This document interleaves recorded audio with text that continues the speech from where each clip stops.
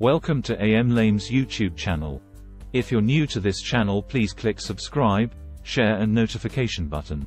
In this video we're going to discuss about the difference of sex and gender related. Sex and gender are related but distinct concepts.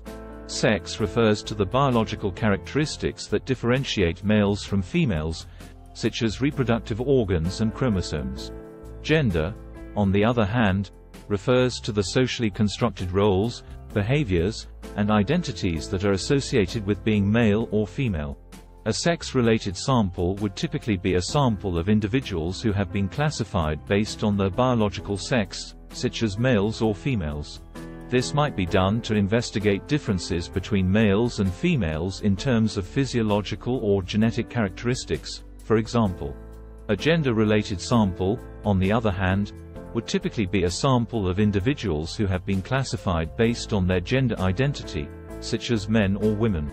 This might be done to investigate differences between men and women in terms of attitudes, beliefs, behaviors, or experiences that are associated with gender. It is important to note that sex and gender are not always binary or mutually exclusive categories. There are individuals who do not identify as exclusively male or female, and there are also individuals who may have biological characteristics that do not conform to typical male or female classifications.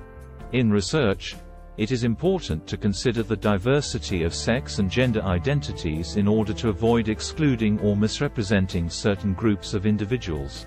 Thank you for watching, please don't forget to subscribe and like this video.